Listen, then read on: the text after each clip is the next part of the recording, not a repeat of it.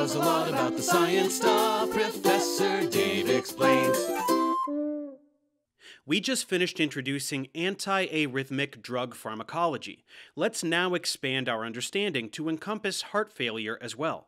In Class 2 of the Vaughan Williams classification, we introduced beta adrenergic receptor antagonists, commonly known as beta blockers. These drugs antagonize the beta 1 adrenoceptor and compete with circulating adrenaline and noradrenergic innervation from the sympathetic nervous system.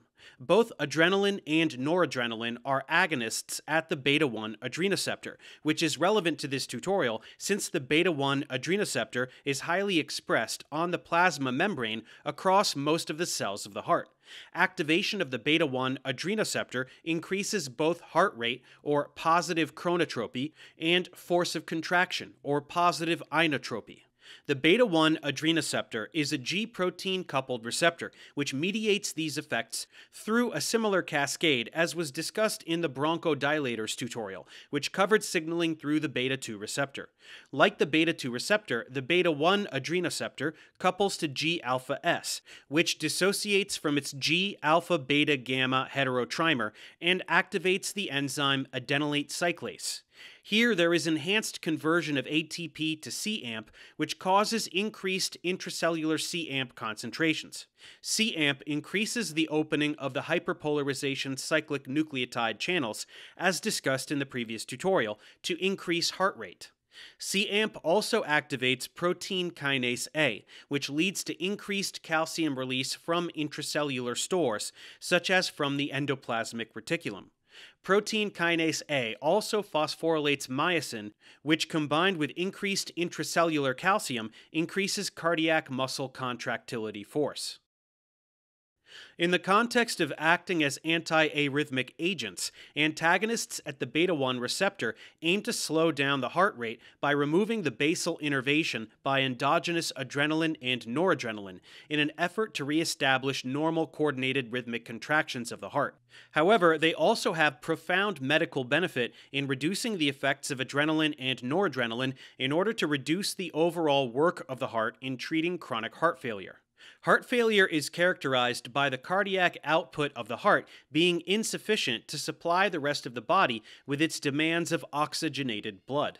In other words, there is a gap between cardiac output and the demands of the rest of the body.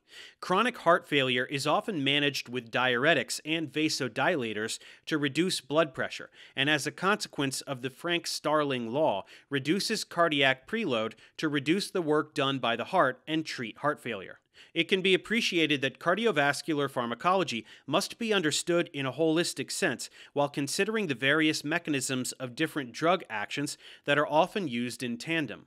For more information on diuretics and antihypertensives, please check out the previous tutorials on these drugs.